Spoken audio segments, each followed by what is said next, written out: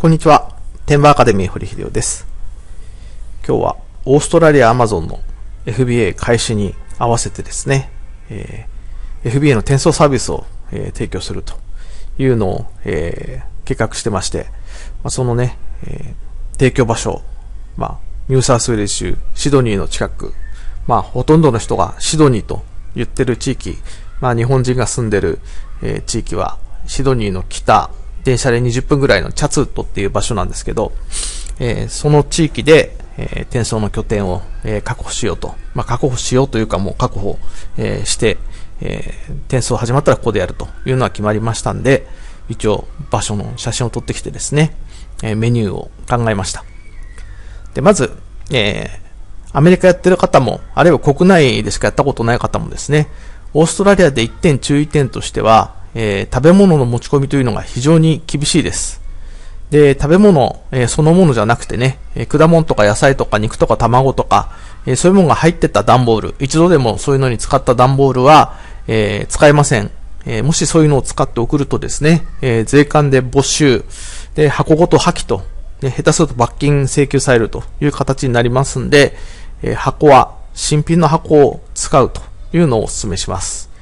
えー、なんか絵とかね、文字が書いてあると、特に日本語だとそれが何て書いてあるんだかわかんないとね、えー、果物とか、えー、野菜が入ってたもんじゃないかと思われれば、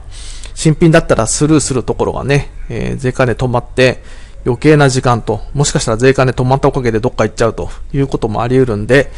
税関はスルーするように、段ボールは新品、えー、食べ物、えー、類は送らないというのをね、え、心がけてください。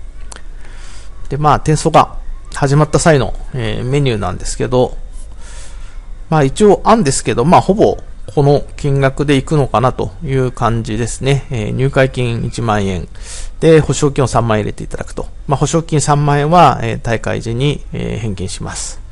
で、手数料は1箱につき1000円。で、もしも破損して届いた際はですね、えー、その商品をえー、大丈夫かどうか写真を撮って、で、大丈夫なものを再梱包して送って、えー、ダメなものを破棄するとえいう形で、え、やるのか、あるいはね、え、ダメージレポートを申請するのか、まあ、どちらにしても50ドルという費用ですね。それから、税関でもし荷物が止まっちゃった場合も50ドルと。だからこの、これに該当しないようにね、しっかり梱包して送っていただいて、えー、転送だけなら1000円で済みますんで、えー、怪しいものを入れないと。ね、梱包はしっかりするというのをね、心がけてください。で、まだこれ、今年ね、おそらく9月に、えー、サービス開始になるんじゃないかと言われてますけど、早まるかもしれませんし、遅れるかもしれません。ただね、開始と同時にこのサービスを使えるように、えー、もう準備はしてありますんで、まあ、ぜひ使いたいという方はですね、えー、この無料メルマガに、え登録して開始のお知らせをお待ちください。